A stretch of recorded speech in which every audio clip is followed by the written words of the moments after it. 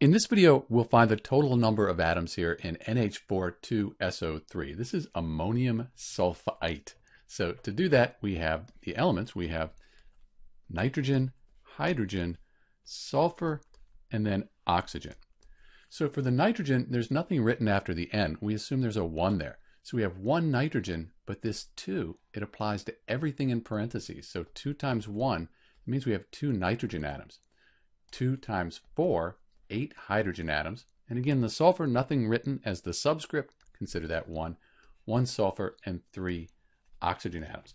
If you add these all up, you have a total of 14 atoms for this NH42SO3, ammonium sulfite. Sometimes you're asked to figure out how many atoms, let's say nitrogen atoms, there are in one mole. To do that, we find the number of nitrogen atoms. We found there were two.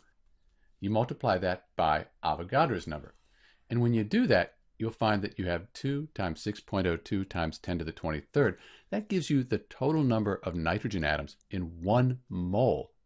Likewise, you could multiply 8 times Avogadro's number to figure out the number of hydrogens, 1 times Avogadro's number for the sulfur, and then the oxygen, you would multiply 3 times Avogadro's number. That would give you the number of oxygen atoms in NH42SO3. Occasionally, you'll be asked to figure out how many ions, how many, say, ammonium ions you have in NH4-2SO3.